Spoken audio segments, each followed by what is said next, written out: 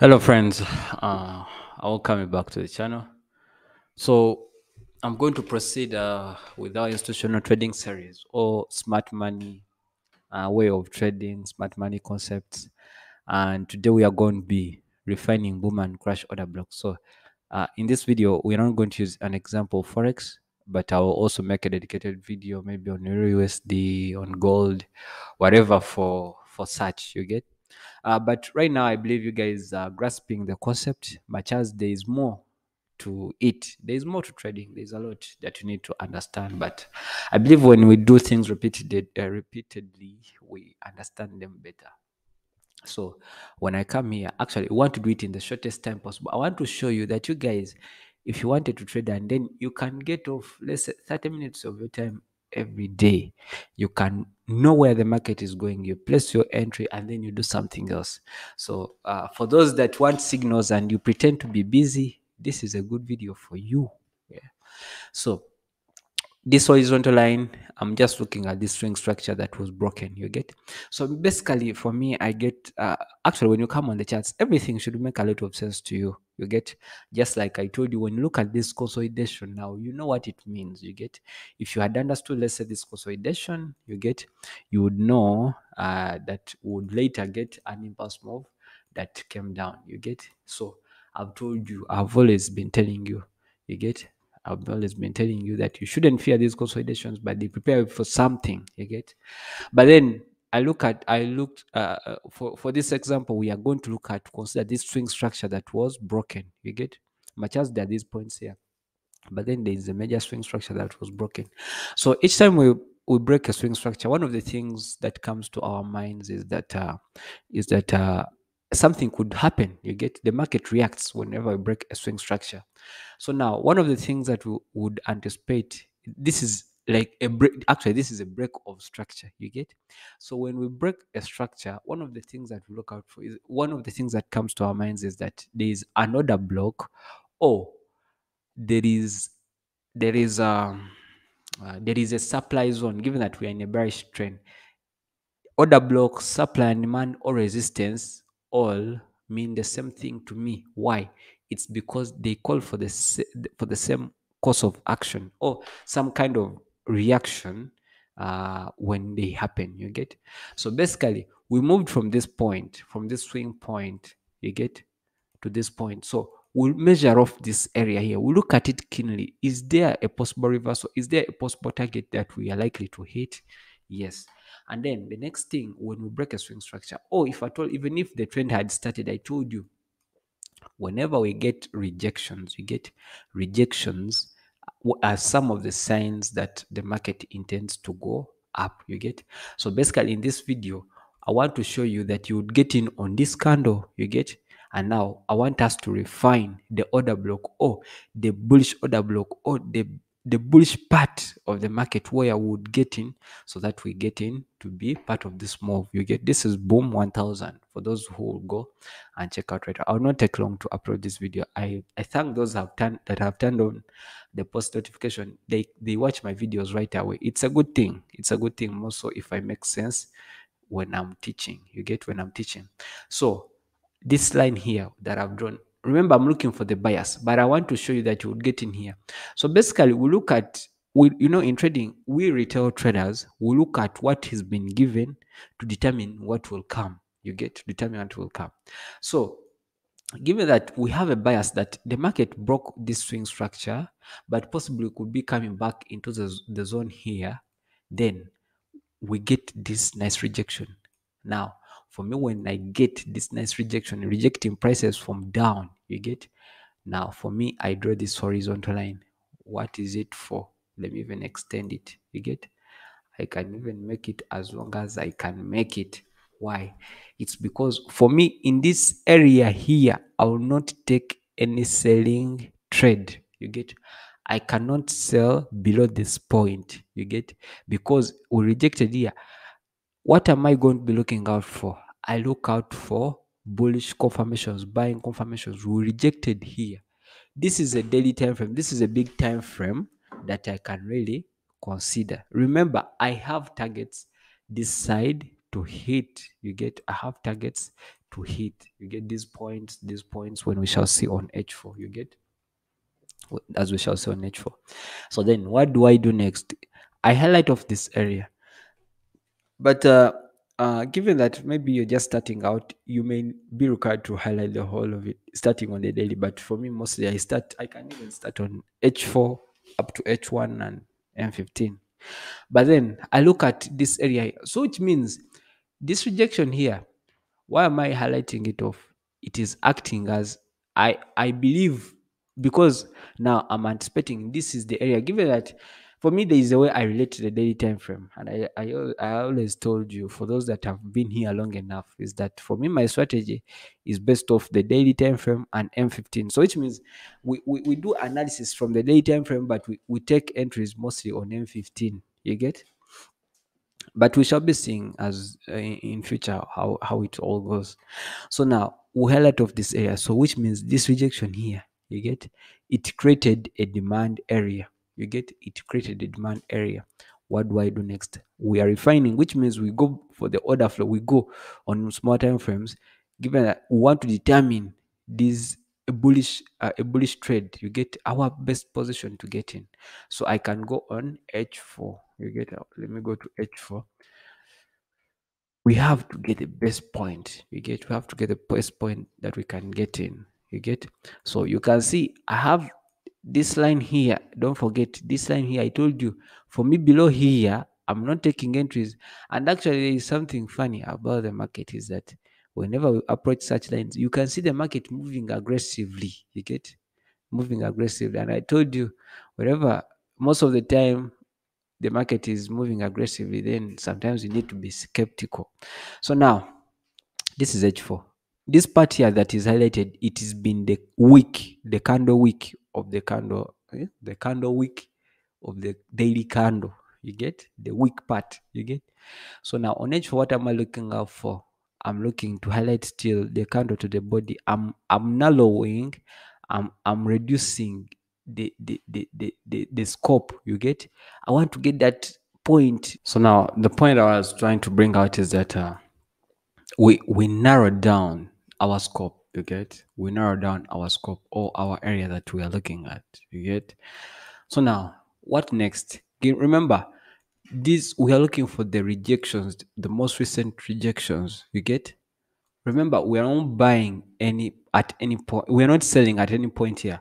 What are we looking out for when we get below? We look for bullish confirmations you get? And this is h4 you get? You can see that this is h4 then what next what we do is that uh, we go on h1 you get? We go to h1 to see the best point that would get in you get? The best point that would consider to get in. This is the order flow or this is what we call to refine. So basically you can see that uh, on h4 this is the area but even h1 has a rejection on it you get? It has a rejection on, on it. So we can go further looking for these rejections you get? But then they will keep out pushing us down to this point you get? But now when i reach h1 what am i looking out for you get? Remember by the and crash you cannot set pending orders. You only set manual orders. You go in the market manually. So you can set maybe price alerts you get on mt5 so now what do we see here on h1 we get something really nice something really nice. What is it? We can see that we broke a structure to the upside you get? We broke a structure to the upside. We got a break of market structure. We get happy about that. Before we broke this structure here for me i always like to measure off this move that broke structure. You get? What am i looking out for? Did we buy at a discount? You get? Basically now i measure from here to yes to here where we broke structure. So you can see that here the market came into the red into discount. You get we bought at a serious discount you get? We bought at a discount at this level here. And then we sold at a premium. So which means we bought at prices where they were low we sold at prices where they were high. Now i start looking for this area. Now this area remember this is a fake out you get? We are looking for order blocks in this area here. This is the area where we'll look out for entries to get in. Entries that are below here below this this highlighted line or this horizontal line that I drew, you get? There is this horizontal line that you're seeing there. We are not interested in that. But then in this area here, we are looking for bullish confirmations. You get we are looking for bullish confirmations. But then we can see that outside here we can we broke structure. So now this one here, this area here becomes let me let me show it to you. This area here becomes our our demand zone because we've broken structure.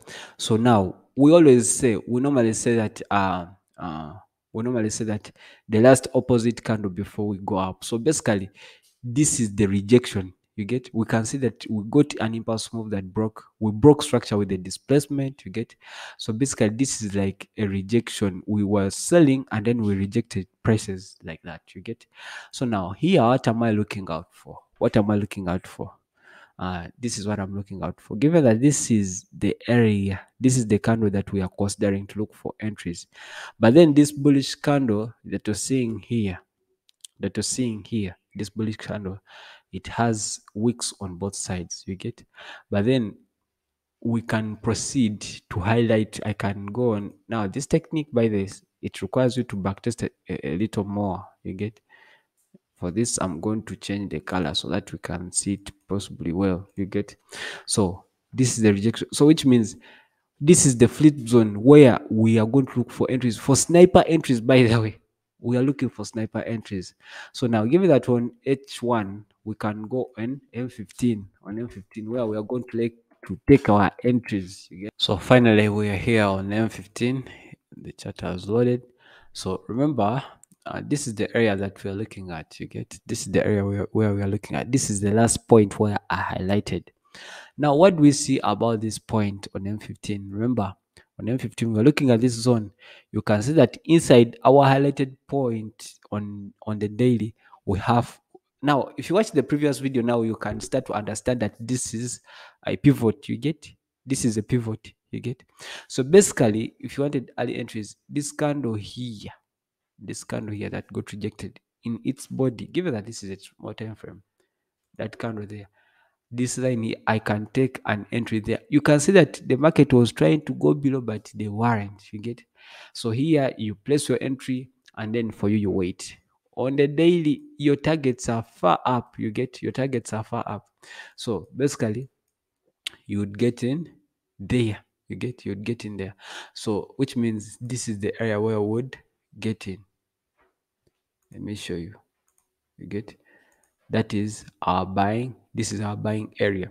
And then if you're to go back on the daily time frame this point is the candle that you were seeing the the the large candle actually. Let me show you. This by the sometimes the more you take long on the charts you can know the candles very well.